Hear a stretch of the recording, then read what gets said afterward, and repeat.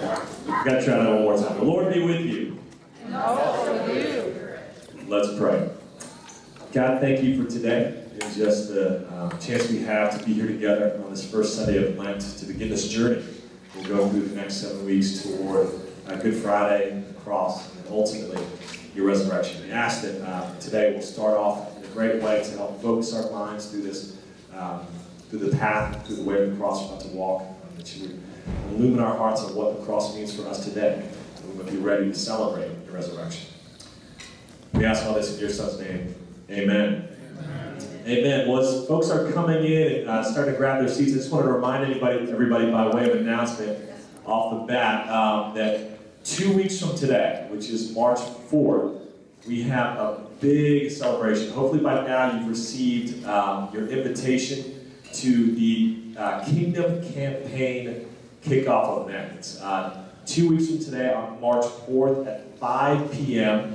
in um, the 4-H Center right down the road from here. And this is something that, uh, you know, it's a, it's a big celebration. We're kicking off the campaign. It's not, uh, there's no solicitation that's going to be given. But it's something we're really anticipating being an historic night in our parish's history as we kick off this once-in-a-generation type campaign. So again, two weeks from today, 5 p.m. at the 4-H Center. Hope everybody in the church is going to be there. It'll be a really, really great night. Uh, but today, this morning, we're kicking off Lent and a six-week series through uh, this book by Tim Keller called Generous Justice. And actually, this uh, study is the brainchild of our uh, new mission. I, guess I can still say you're new, new-ish of the past year mission and outreach uh, director, Shireen David. If you haven't met Shireen yet, she is fantastic. She's revolutionized the church already, so make sure to come spend some time with her. But yeah, the study's really, sure, yeah, of course. Uh, she's her brainchild. Um, and basically what we're going to be doing is we're going to be loosely following through the chapters of this book over the next six weeks. It's not going to be an exact parallel. We're going to invite folks to get this book um, called Generous Justice to read along with us, and then pairing our reading with that book through Lent um, with different talks here in the Rector's Forum. And they'll be more like augmentations, so not exact. We're not just going to come in and you know, do uh, you know, question and answer about the book, right? But uh, it'll augment your reading of the book as we journey together through Lent. And I wanted just to read quickly a passage from the introduction to the book to help um, understand a little bit more why and how this study is taking place. Um, in the introduction to his book, he's answering the question, why did I write this book? Tim Keller says this, you don't really realize that you really have a culture. You're blind to how many of your beliefs and practices are cultural. And I began to see how in so many ways that our cultural biases have been turned into moral principles. And then we use those things to judge others. What Tim Keller's describing there is actually an ancient Christian principle, first articulated uh, by St. Augustine, called the incurvatus in se, which is just a Latin phrase for the turning inward of ourselves.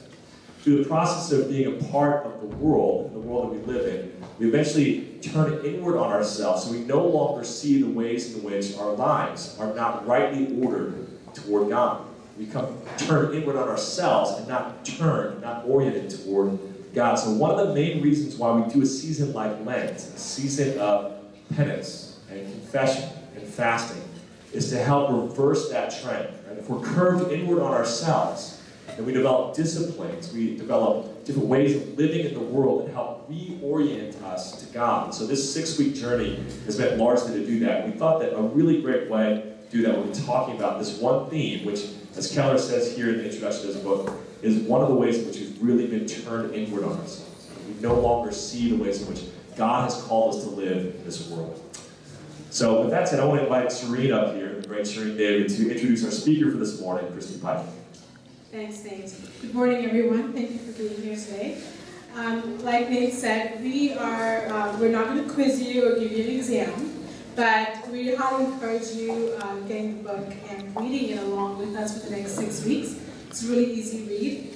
Uh, I have some copies available here today for $12 each if you'd like to purchase one, or you can get them on Amazon. It's, um, it's on Kindle, and I, I think it's on iPad if you prefer that. Right, or your Kindle version if you want to get it from Amazon.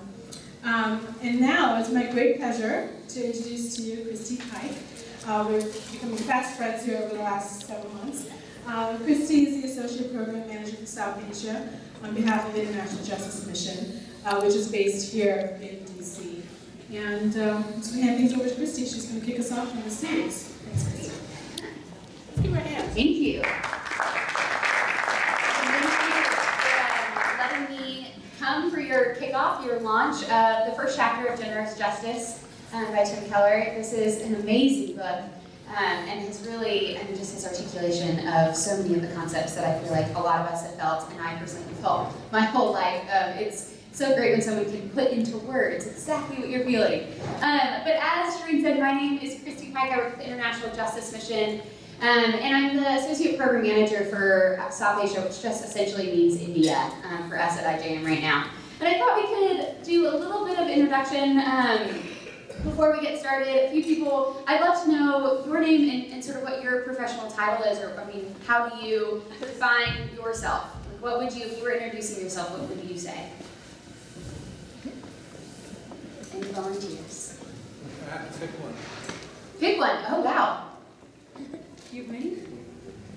Well, I'm, I'm retired, that's my profession. All right. Yeah, there are a used to be a a dentist, and before that I was an oral surgeon. And uh, I have been to India years ago. I was very involved with Rotary.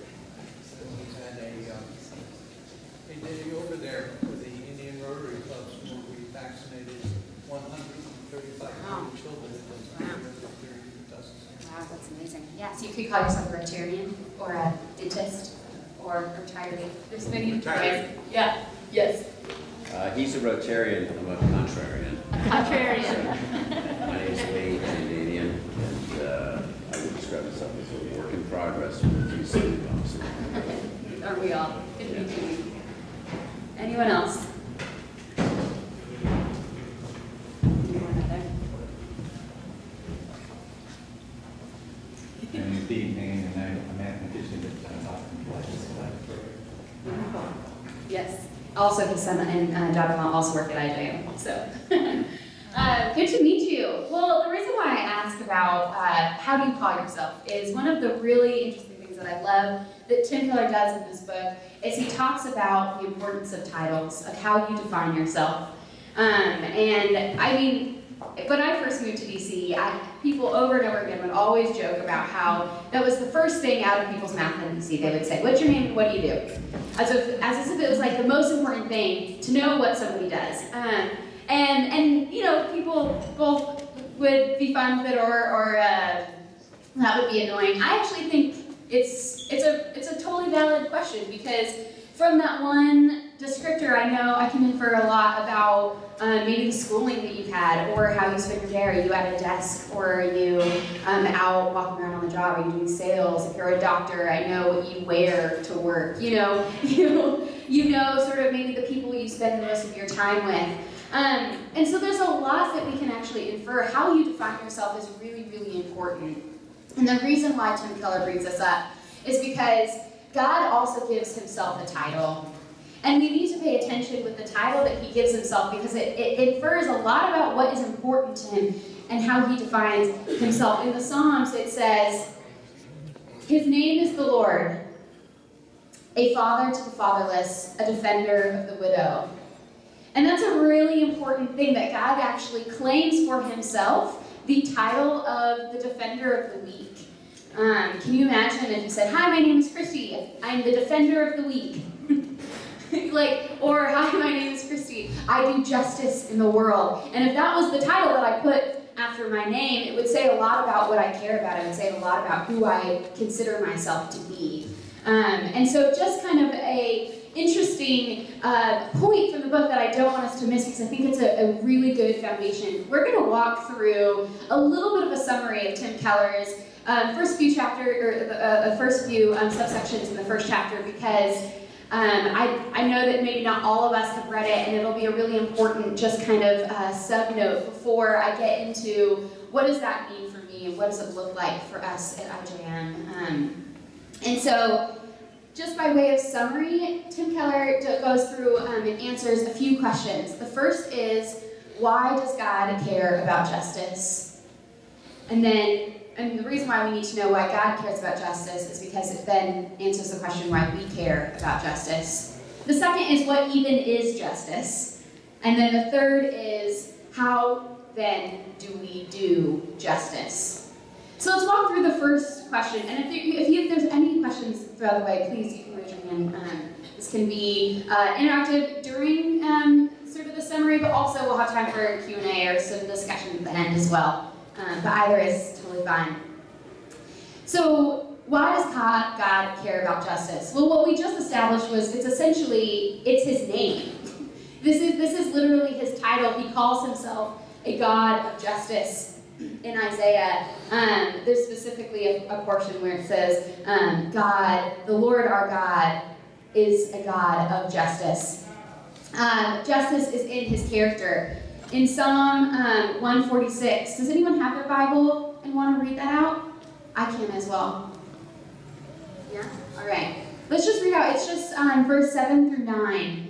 And I want to, and I want to call out uh, this in particular. There are so many examples of when God talks about um, this being central to his being and to his character. I'll just give you once you have it. Yahweh, forever faithful, gives justice to those denied it, gives food to the hungry, gives liberty to the prisoners. Yahweh restores sight to the blind, Yahweh straightens the bent, Yahweh protects the stranger, he keeps the orphan and widow.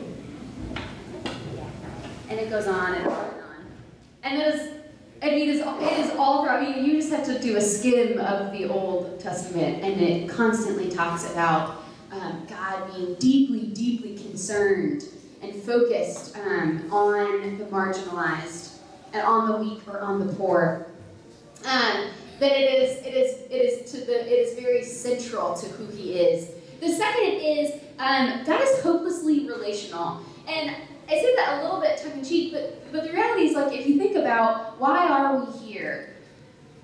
What is the point? God and Trinity is actually in communion, fully satisfied in the communion in of Himself. We actually He doesn't need creation. There wasn't we weren't fulfilling anything lacking in Him. Why would He create creation? Why does He create humanity? And that question always puzzled me all the way growing up. Um, I didn't understand what we were for. And until I kind of just realized that because God is relational, He's an incredibly social God. And that actually the whole act of loving, the whole act of, of, of being in communion with us is gives him great delight. And it is good. You know, in the creation story, it's every time he makes and there's a new day and he creates, he says, it is good. Um, and, and so that, that process of loving his children um, and doting upon and delighting upon his creation in all of us is what gives him good. Gives him um, so much delight. And when we thwart that, and when we are, and you'll find out later, one of the, the definitions of um, injustice is like a, is an, is um, an unright relationship. And so when we are not in that relationship with God or with one another, that that, that offends him because he is so at his core relational. And and and when we prevent that in each other or in ourselves and we don't allow for right relationship um, that it, it distorts god's perfect uh, vision for relationship with us.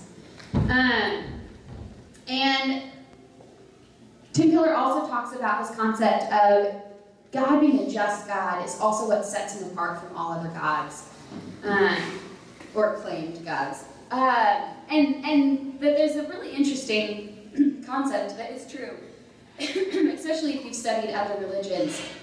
So many ancient religions, the gods would work through the right? They would always either um, either they themselves were the elite or they would um, be in partnership or work through the elite. I mean, you think about Homer, right? Or um, any of any of the ancient stories of gods coming to Earth. Every once in a while, they'll like disguise themselves as the poor, but not because they were honoring the poor. They thought that that was, you know. But it was more whenever they would do that, it would, you know, in the ancient tales, um, they would disguise themselves as the poor. It was almost to like spy on humanity, you know, or like trick them, and then they would like be revealed in all of their glory. Well, the really interesting thing about our God is that when He came, He actually came as, thank you, uh, He came as a Middle Eastern refugee who was homeless. Right? I mean, that's old, that is, that is exactly that. That's who He came as, and and there, and all throughout uh, Jesus's ministry, He talks about being homeless. He doesn't have a place to rest His head. He talks about being among the marginalized, and that's where He would head toward and our God is so different in that way that instead of caring and wanting to be and to, to advertise his elitism, he, he what he talks about so much more than anything else is, is the humility of, you know, our, our God, our Creator, humbled himself to the point of the cross, humbled himself to the point of death. Um, that is very unique to our God. I mean, ultimately, we can't answer the, the, the question of why. Does God care about justice? Uh, I don't know. The, the answer is just He does. And He, he cares so deeply about people. Um, and I think, if I had to guess, it's because why does He care about the poor? Why does He care about the marginalized? It's because nobody else does. And so, because He loves and He's so relational, it's, it's almost like he has to pay more attention because he knows that they don't have systems in place and don't have people in place who are, you know. Um, and so, and so he says, you, you who've been neglected your whole life, you who've been bleeding for 15 years, you who've been blind and haven't been able to enter into society and have to sit on a rug outside of the city, you know, for, for all of your, of your existence, you, I'm going to see you because nobody else does. Um, because that's who he is as a God of justice, a God of love. So then, why do we care about justice then? If that is true about our God, and we just kind of, at this point, just need to um, assume that that is true, because that's all throughout the text, what does that mean for us? Well, ultimately, it's because we are image bearers of God. Um, we laugh because he has a sense of humor. We inquire because he asks questions. Uh, we are a, a, reflection and a mirror image of who God is, and so who, what God and who God cares about is very much what we care about, whether or not it's conscious or, or subconscious. That our yearning, that God's yearning and who He is, is built into who we are, and deep in our souls is going to be there as well. That we are going to yearn for the same things because we are God's creation, and that is how He placed the image of himself in us since the beginning of time. And then ultimately, uh, what Tim Keller talks about is that right doctrine, right understanding of who God is and what the scriptures are about not only includes but leads us to an understanding of justice. Um, yes? Okay, I have to ask. So, my understanding has always been that God is a just God, right? Yes. God is perfect, God yes. is just. Because we cannot be perfect like God. Mm-hmm. We cannot approach God, but because God loves us, we are able to enter his presence, right? Mm-hmm. So how does that relate to what you're saying? Like, I think we should care about justice because Christ, God is perfect, and because of that, because of his love, we are able to then be justified through him, mm-hmm. and we want everyone else to be justified. So how does that relate to what you're saying? Yeah. Yes. So, is your question essentially? Um, I thought it was all about the salvation story. It, it, it is. It's definitely about the salvation story, and that and that we will get there. The salvation story, though, is not just um, a right relationship between you and God. It's also a right relationship with each other as well, right? And so.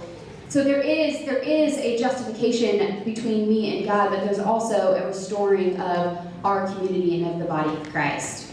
Um, if you look at Jesus's ministry, I mean, so, so why did God? Why did Jesus come and die on the cross? What was that salvation for? Yes, it was for that moment on the cross in which all was justified. But there's also three years of ministry that he has before that moment that is an interesting sort of why. Why does he spend so much time um, not only walking around and healing, and, and restoring and, and looking at the marginalized, but he also spends a lot of time stopping and making sure his disciples understand what's going on. And I think it's because he's doing, he's modeling. He's modeling what life what, what right life is like, like what we are actually supposed, how we are supposed to live. Um, and what maybe righteousness actually is. I always grew up thinking righteousness was sort of like a transactional, transactional purity. Like, like I am pure, or like, or like God, I, I pray to God and God is gracious and then I get pure. You know, but it was kind of this like, it was just kind of in Him and it was just kind of this thing. And and I and I think I started to realize more that, there was a little bit more to the story that actually maybe I'm not just supposed to me myself have this what what Tim Keller says um, as like private morality. That it's not just about my own private morality, but it's about how I interact and how I engage with others as well. There's two things I want to say. Yes. One, that Jesus did ask one thing of us, which was to love each other. Mm-hmm. But a beautiful example of the importance of, of, of the, our relationships would be Ruth studying Ruth and Naomi. Mhm. That was a wonderful Yeah. example of, yes, um, uh, Ruth lost her husband, Naomi lost her two sons, but, but going back to Israel, becoming faithful again, uh, Ruth leaving Moab and, and becoming a people of Israel and faithful to God again was redemptive. And, and, uh, and Naomi um, uh, led that and taught that. So I think we see lots of examples of the importance of our relationships. We have maybe more fellowship now uh, with you Christian, Right. but that mattered very much. Right, right, yeah, absolutely, yeah, I agree. And, and ultimately, you know, God is, God is our source of, of love, you know, I mean, we only, we can only love one another if we are first loved, and if we first understand the amount that we are loved, and that is so important to be able to be in right relationship with God. But I think that, I think the ultimate point is just it doesn't stop there. Um, and that and that in in understanding how much we are loved, we understand, and all throughout Scripture you see examples of people doing that. That we are transformed by God, so that we can a, a miraculous. Uh, we are miraculously transformed people, so that we can do the work of transformation in the world. Um, and that there's there's a profound mystery that God u- uses us, this miraculously transformed group of people, through His through His work of salvation um, for a purpose and for being his hands and feet on the world. This world is not yet completely restored. We're in an already but not yet period. That, that there is still so much brokenness, and we are actually that solution. You know, his his his people who have been restored to right relationship with him um, are his hands and feet to do the rest of the work of, of redemption. That that commissioning that Jesus does with his disciples is still continuing to today. Does that answer a little bit, or do you have another follow-up? Yeah? Yeah. Any other thoughts? Thank you, though.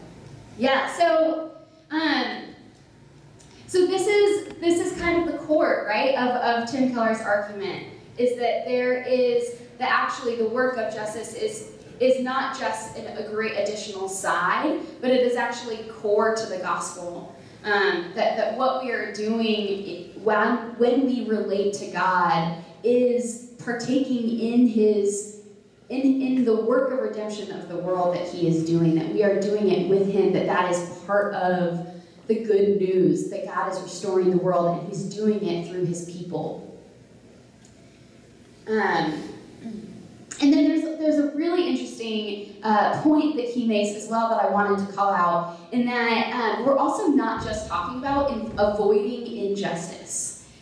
Uh, and this is a little bit harder to swallow, but, but it's true, um, and you see it in the text that we're going to read, uh, um, Job 31 in a second, um, because it's a really important, it highlights really well this point, is that it doesn't mean that I'm just not going around not exploiting people. Um, but it actually is an action. It is something that I have to do. I, not, I don't just avoid um, exploitation, I actually have to do justice. Um, and that's part of the command that God gives us throughout the scriptures. Yes? It's kind of interesting because the four pillars of medical ethics are beneficence, non-malfeasance, justice, and autonomy. And if you think about it, of all the, of the monotheistic religions, Christianity is the only one that's 100% volitional.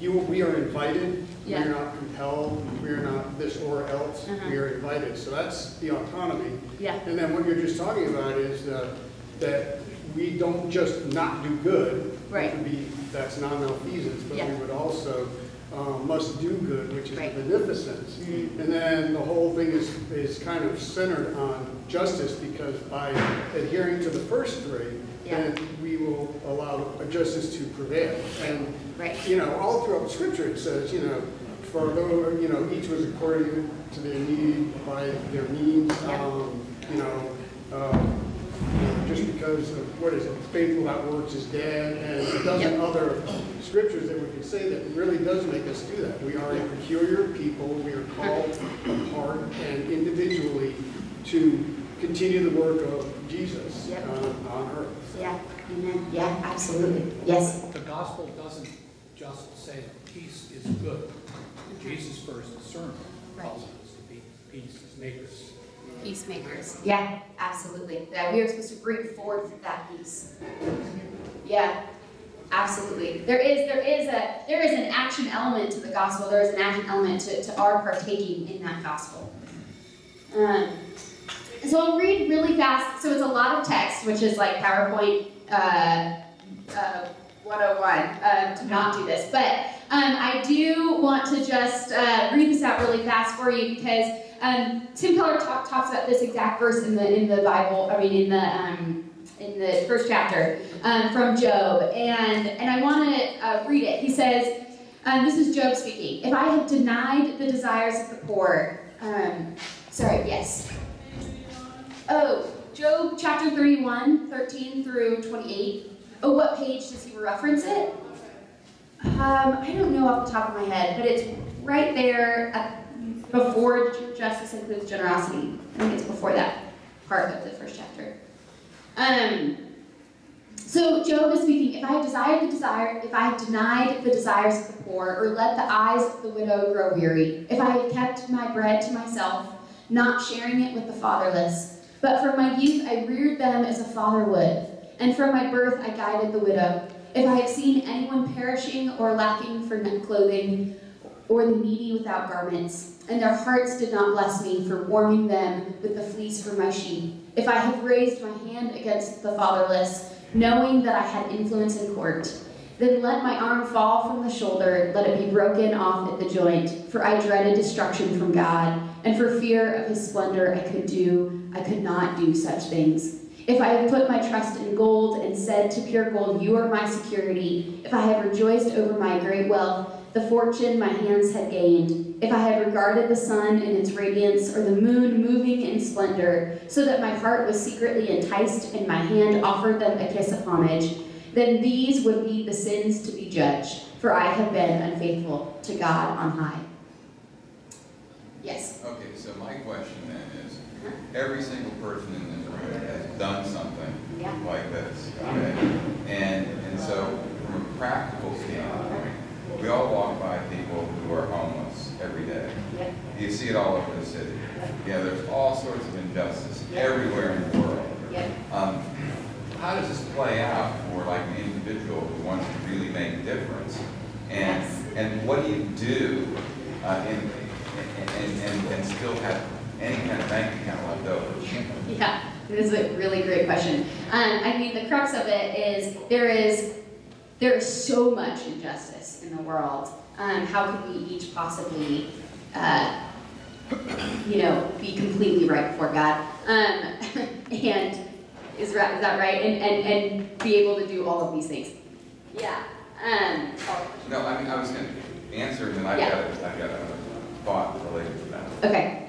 Um, so I, it's a really great question, and I'm going to get into that a little bit of just sort of what does that look like and how does that work. I mean, I also want us to be to be real in that we want to be smart about how we address injustice. Um, there's a lot of injustices that are systematic. There are a lot of injustices that um, maybe just giving somebody money on the street is not actually the most helpful thing to do, but rather working with an organization that systematically addresses why people are homeless to begin with. Um, or talks about you know policies that are good, or you know, and or maybe funding organizations that are doing that.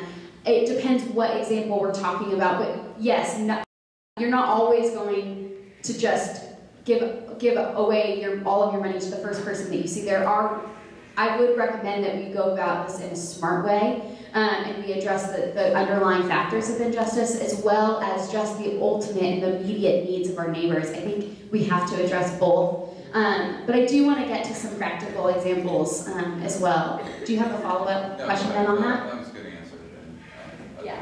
that's fine. Yeah. Yes. There are groups like uh, Community Council for the Homeless, Yeah. McKenna's Wagon, Yes. uh, uh, Martha's Table, the House of Ruth, Yep. the Salvation Army. They're out there, they're doing this, and Yeah. many of the people in here have probably volunteered with Yeah. some of those one time. or another. Yeah. So these are happening. Yeah. Yeah, doing doing this work together is a whole lot more powerful than doing it alone. That's definitely for sure. Yes. I think, to answer your question, I think sometimes it just comes down to how you lead your life every day. It's just- A year or two ago, I was waiting for a bus, and there was a homeless man who was sitting on the curb, mm-hmm. and he couldn't stand up. Yeah. And there are other people standing around. I just went to, I gave him my hand, and I helped him stand up. Yeah.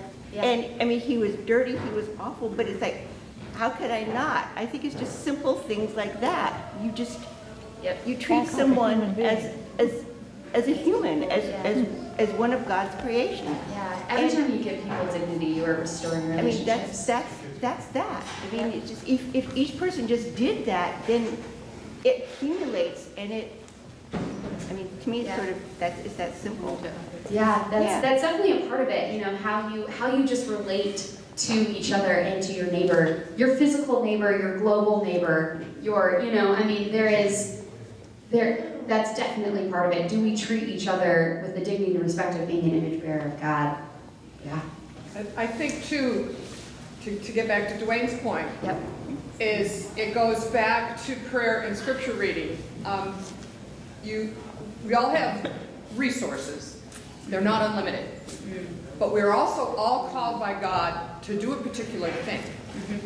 And it's prayer and scripture and reading the opportunities God puts in front of you that tell you what your particular call is. You know, I, I can look at all the homeless in the city, and, you know, and I, like everybody else, I pass by them practically hourly, it feels like. Um, but I also know, you know, A, Jesus came to save the world, that's not my job. so I don't have to take all of it on, but I do have to pay attention to where God is leading me to do his work. So I have a very narrow job, Yeah.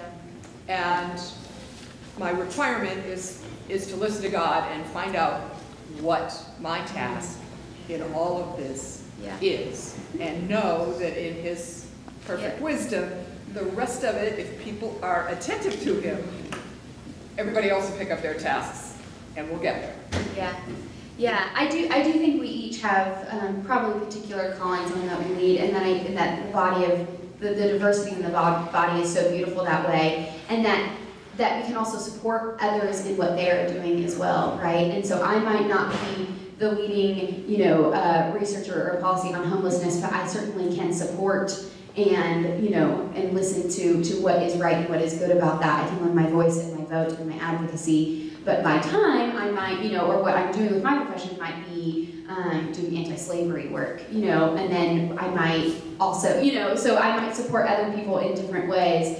Um, someone else who's who, who's leading a movement, I can come alongside them, and then I will lead in this area. You know, I definitely think there's a lot a lot there. Yes. Just to tag on to that, I mean, we are called to be wise stewards as well. And it can be totally overwhelming and totally perplexing that, you know, you know, get a hundred dollars worth of five dollar bills when you walk down the streets of, of uh, Manhattan or DC or something. But there are resources, I mean, like uh, Charity Navigator exists, okay? So if you're, if you, if you pray about something and you think you should give to this cause, then do your due diligence and look on it and see what percentage of the funding actually goes to the people who need it and things like that. And there are ways that can, we can do it. So we need to combine like the resources that God has given us, even if it is evil internet that Ed told us not to use, uh, or something like that. But we need to do that, and we need to pray about it and let the Spirit Spirit lead us and then make the decision. And, and if enough of us do that, Yeah. each of us, just as you said, we'll all have, and just as you said, that we'll all have our own little channel, and all together, it'll be a huge interstate of good. Yeah, yeah, absolutely. So one one of the, all three of those things are great uh, pragmatic suggestions, and I appreciate hearing those. Um, Another thought that I had after, in, in listening here was, was one way to do it, I think, is to uh, spread the word of God. Because when the word of God is spread, what happens? People change. How do they change? People change from the inside, because then they're not motivated uh, uh, and, and- and driven by um, all of the cultural and other influences that are placed on people that, that uh, cause people to act and react in all sorts of situations. And so in that way, as more people become um, uh, understanding of the Christian faith and understanding of the importance of Christ and what Christ has done for everybody, that then spreads in the culture. And when it spreads in the culture, it infects some of the people who have some of the systemic problems that we're seeing, the homelessness or, the, or alcoholism or, or drug addiction or, or you know, whatever, because the person's changed from the inside. So that's how I'm thinking about this stuff.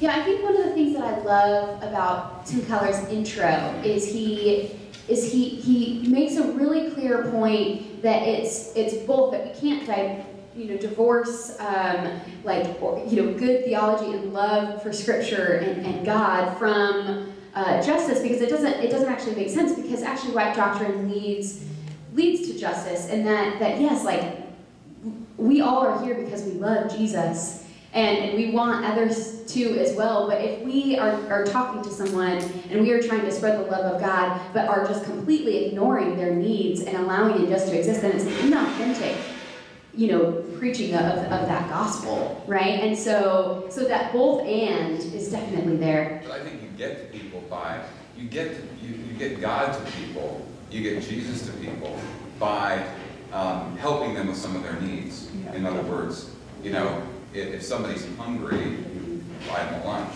If, you know, those types of things. And that's how you can get them. Yeah, absolutely. Yeah, I mean, if God, if God is a God of, of justice and a God of love, then by loving people and doing justice, you are you are allowing them to experience God as well. Yeah, absolutely. Yeah, um, I, I was given I was given an, a sign to keep moving. So we'll we'll try to run through some more um, examples. But I do want to give you just sort of what this. I, I thought and prayed a lot about what this looks like um, for me and for us at IJM. So um, a few practical notes. This is when Tim Keller gets a little bit nerdy. Um, but what is justice? He talk, he goes through sort of three concepts. Um, and uh, I'm sorry if I completely butcher the pronunciation. Um, so in Micah 8, do justice and love mercy. We all know that passage. Um, and and he talks, and I love that he addresses how sometimes it feels like those two, the two things are totally separate. But actually, if you look at the, the original words, mishpat and chesed, mishpat is the action of what you are doing, the action of, of doing justice, and the chesed is, is God's compassion. And so really, uh, the way you want to look at that verse is essentially do mishpat out of chesed. You, you do these acts of, of, of uh, justice because you are motivated by mercy, because you have experienced God's mercy. And so this is an outpour and an overflow of our own understanding of grace and mercy and compassion, the compassion that God had on us and the compassion that God had on others. And that is an outflow. And doing justice is an outflow of that. Um, and then another interesting point that he makes is that is this word mishpat, which which is, is the word for justice um, often um, when it's translated into English, and it's actually giving people what they are due, giving people their rights. It's used in relation, for example, when we talk about priests who are due tithe, you know, that, that, of, of the, the tithing that, that is their right. It is what they are due. Um, and so that is one version of, of this word. Another is the poor who are due care and protection. So it's not, so he, he says it's not just charity. It's not just, okay, I'm gonna, you know, like a sandwich on the side. Over here, it's like actually what this person is due, that we are, that people are due care and protection. And that, so when we are fulfilling it, it's not like, oh, I'm so great because I'm being so nice to this person. It's like, no, this person actually was, this is what they were due. Um, and we are just fulfilling that. Yes? I love this. So rights is a huge buzzword in our country compared to other cultures, I would imagine. And um, it comes with a lot of baggage and a lot of kind of what we think is a right. And, and I'm curious Yeah. how um, that differs by culture and how other cultures might interpret that and how like we as Americans bring our own special spin to that. Yeah, yeah, that is a that is a great question. Um, there are obviously legal rights um, that you have. You also have fundamental human rights um, that we talk often about that can be debatable um, a lot. This this is in, in context of the Old Testament. Um, of, so given like the Mosaic Law, what people were due and what God, you know, sort of the system that, that God set up. I would say from a throughout Scripture, if we're, if we're looking about it, what, what God thinks that people are due, um, a really basic sort of fundamental is that care and protection um, that's talked about here of, of what and, and being um, uh, being treated uh, be, with, with justice and, and equity uh, would be sort of maybe a, a foundational. But yeah, I mean it's a it's a really good point. Um, other cultures also have a lot of, I mean, at least in India as well, there's a lot of debates around what what is someone's right. Housing, for example, is a big debate. Is that, is that a fundamental right for people? Yes. So, you know, to your point about rights, um, I was always, you know, I was brought up on the notion that which our society has not lost, that rights are of course only responsibility. And so that's what I think is we lacking today. We always talk about people's rights, but we don't talk about their responsibilities and uh, which is sort of the balance, the yin and yang. But I I had a quick question on, on mishpat. Is that uh, like correlated to the, you hear the word mitzvah, like doing a good deed? Is that, they seem like, uh, well, I don't, I don't know if they're, Maybe the question's already One's- answered. I do not know. uh, Yeah, they're related, but it's not the same story. uh, I was just curious. Yeah. Yeah. Yeah, Yeah. thank you. Yeah, That's an interesting question.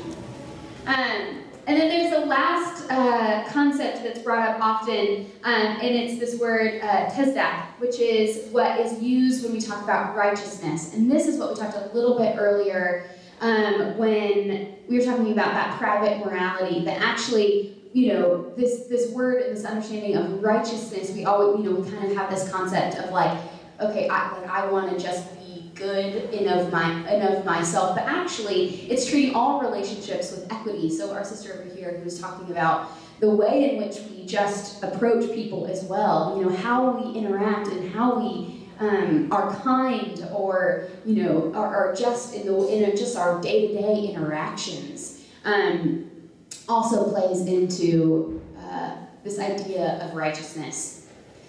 Um, so, what what does that actually do? How do we how do we actually do it? Um, I am not going to be able to give you a comprehensive list. Uh, there there is so much. There is so much to do. Um, trust me, I'm, I'm someone like this. This is my whole orientation of life. So it's not just IJM. I see it in everything. I wish I could do. I wish I could have nine lives and, and do it all. Um, but I'm going to give you a few principles of, of what this, in my own work and when I see my colleagues in India, um, what's inspired and motivated me. Um, one of them would be to remember the one. Um, and, and I think, yes, there, there's so much systematic injustice, but to also to remember that there's a person behind it and to look people in the eye and to walk alongside people, that transforms you when you see it face to face. And I want to introduce you to Surya, and I'm going to just tell you what we mean, what I mean by this really quickly. Surya was an 11-year-old boy in Tamil Nadu in the south of India, um, and he came from a really, really poor family. And one day, a man shows up and offers um, essentially $12 to his family and says, I'm going to get this little boy a better job in the state of Maharashtra, which is um, on the other side of the country. So jumping at that chance, it felt like a really good opportunity. Um, they took the money and they sent Surya and his cousin Vijay all the way to this uh, to Mumbai um, across the country. Turns out that that promise for a job, like so many of our victims that we see, it was a total bold-faced lie. He got sold into slavery and ended up working, um, making basically candy, um, like those little candies that they sell on the side of the road in like a little shop. He had to work 16 hours of a day, and anytime he would work too slow, he was beaten. Anytime he wanted to stop working, he was beaten. Anytime he wanted to take a break, he was beaten. Anytime he wanted to go home, he was beaten. And this happened for five years. And the owner continued to, to press upon him and to tell him and Vijay, um, essentially, this, you are never leaving, this is your new life. Vijay, his cousin, um, finally got up enough courage to escape, and, and he figured out a way and escaped from, from that place. Surya was still there, and the owner beat Surya and then called Surya's parents and said, if you don't return Vijay, I'm going to kill your son. Surya's parents were so desperate, they had no idea where their son was, they had no idea what to do. They themselves were from a really, really poor village. They just went to authorities. Thankfully, those authorities had a relationship with us. They came to us and asked us um, for asked for help. We had no idea where Surya was. it's like it's like searching for a needle in a haystack. You know how big, how many millions and millions of people in one city alone. Um, and so we started, we have, a, we have an office in Mumbai as well, and together for five months we started, we looked and we searched and we could not find Surya. And I think back to this passage in Luke, and I love the story, and I remember praying so intensely to find this boy, um, because it reminds me of when Jesus uh, tells the parable of the shepherd who leaves the 99 to go searching for the one. And and for me, it's such an important principle because because I we talk in millions. You know, when you're talking about slavery, you're talking in millions, 150 billion, you know, generating illegal profits per year. And it's so easy to get caught up in that. And so for me to just remember, we are looking for Surya, and we're looking for him for five months. And after five months, miraculously, because we have a miraculous God who loves us, who's in this work with us, and it's not us doing it on our own strength, we found him. And we were able to take him from this place of total darkness where he was beaten regularly anytime he wanted anything. We were able to send him home and restore him with his family. He's now 16 years old. He's learning a trade, he's learning carpentry, and, and, he's, and he's learning what it means to be a kid again um, to, to have hopes and dreams, to choose what he wants to do. That for me is a principle that I carry with me on how you do justice. You remember who it is that you're doing it for. You remember the one. Um, and then I'll tell one other story, and then we'll, I think we'll move on. Um, I, I love the concept anytime we talk about the body of Christ, anytime we talk about our brothers and sisters around the world, to remember that this is our family. What would you do for your family? And this is a really scary topic because it's because then you get into the to what extent, right? Are we actually able to like how much are we actually able to do for, for all of our, our family? But um, in that Job passage where let me just go back to that really fast where he talks about, I, I have denied the desires of the poor. He doesn't talk about if I had not denied food and water for the poor, that there's a sense of this is actually a desire um, that we are filling the desires. We aren't just filling basic, basic needs, but actually also like how, you know, so that, so that those on the marginalized can, can delight. Um, and this is my sister Priyanka, and I'll end up with this story. And this is what I love about it. She was rescued from a brothel um, in Kolkata. And, and in, that, in that process of being in an aftercare home, um, we started asking her what she wanted to do, who she wanted to be. And she had no opportunity she has no family, and there was a, a, woman who was volunteering there teaching all of the kids um, field hockey. And she, she noticed them from the side and she said, what are they doing? I want to learn that. And she started taking classes and doing field hockey, and she started realizing that she loved field hockey. And, and through these, this woman who's volunteering, she took special notice of her and started realizing that Priyanka was so good and so passionate about this that she started giving her extra lessons on the side and bringing out this passion in her. And just a few months ago, Priyanka um, won the state championships in West Bengal for field hockey.